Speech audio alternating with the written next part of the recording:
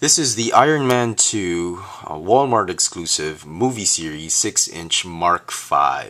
It is a wonderful, wonderful, awesome figure.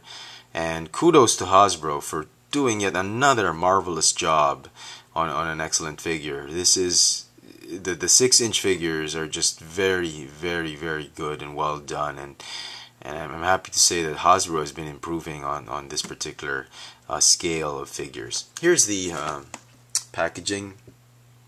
Um, if anyone's interested, it's exactly the same format as the previously released uh, Mark 6 and War Machine from Walmart.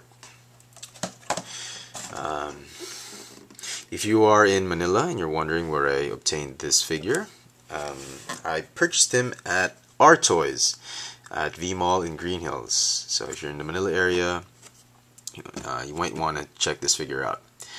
Or uh, and um, for those of you who are interested in size comparisons, here he is with the uh, the three and three quarter scale of the Mark V. Obviously, uh, by a mile, this guy beats this guy. Uh, not to take anything away from the three and three quarters Mark V. I love this figure, but uh, the the the paint, the sculpt of this figure just really pales in comparison uh, with the 6 inch version. It's a nice fun figure to play with, um, to just display and have with the other uh, 3 and 3 quarter figures. But really, if you look at the detail, this one just really takes the cake because he's just even the mold they used on him down to the last detail down to the paint application is just far far better than this one this one's just missing a few silver pieces here and there but but nevertheless you know they're both good representations of the mark v uh, the movie armor. So there. Um, suitcase, clearly very different from the suitcase that came with this guy. Um, the, the original, the, the 3 3 quarter suitcase is functional. It has missiles that launch and it, it does open up with some detailing. This one, on the other hand, is really a brick. It's just a paperweight, a light paperweight that's, that's just been sculpted very well and painted very nicely.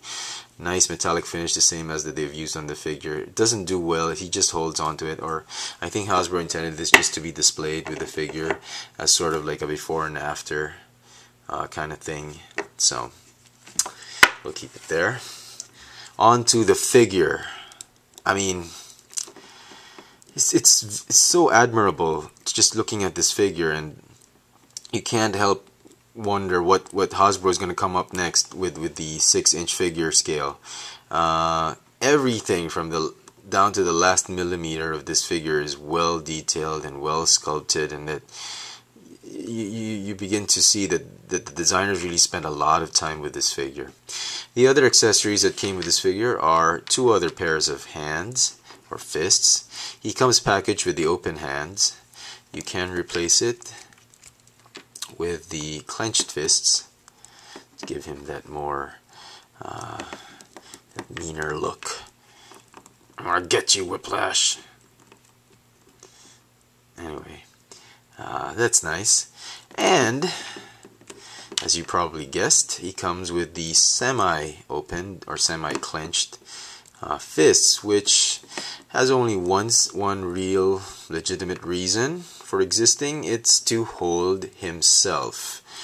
Uh, not entirely sure fans are going to go gaga about this feature. I mean, you holding the whole idea of holding what it was before. I mean, this this just doesn't this just just doesn't work for me. I'm I'm sorry, Hasbro, but um, it's okay. I mean, I'm glad they gave him another set of arms. Maybe just to hold on to something. Maybe the whips of Whiplash, if they do come out with a six-inch Whiplash. But uh, as of now, I don't think you'd want to have him holding the suitcase. Maybe just have him pose. So, let me get rid of those semi-closed fists and keep one one fist open and one fist closed. And we can talk more about the figure. Uh, figure's well articulated um, uh, with some a lot of improvement on on some of the designs of the mold. Um, the head is on a ball joint, uh, a little bit hindered, doesn't move up or down as much. It does move sideways, which is fine. Upper torso is in a ball joint, hinge ball jointed shoulders, uh, rotating biceps, double jointed elbows, and a hinge ball joint wrist. No waist articulation. he's got a hinge ball joint uh, hip hips, but uh, they are a little bit hindered because of the sculpt of the lower torso. He's got a swivel uh, bicep, uh, uh, thigh. He's got double jointed knees and a ball jointed ankle. I would have wished they've given him a um, a swivel ankle, the one that could move sidewards, up or down, and rotate, but they just gave it a ball joint. I think, yeah, it's just a ball joint, which is fine, no big deal. Uh, you don't even have to get this guy into into a really really fantastic pose. Just have him stand up, and he's just wonderful. The other thing noteworthy about this figure is the way they've they've really molded in the uh, the shoulder pads. It's just an extension, a soft rubbery plastic extension of the torso piece, and it just con con conforms very well to the contour of the arms when you spread the arms, which is a lot better than the uh, the ones on hinges or the, the oh god oh god forbid they won't do that again the uh, detachable clip-on shoulder pad. That's just completely annoying from the first movie six inch figures. At any rate this is a wonderfully sculpted figure. Again just to reiterate how well they've sculpted this guy. They've even uh, made striations and, and some grooves on his faceplate which I'm not sure the camera is picking up very well. Just to show you that the mask wasn't a completely whole piece um, because it came folded and it's unfolded when it was transformed from the suitcase. But very, very nice, very nice figure indeed. Um, I'm very happy, very pleased to have it. I highly recommend this figure.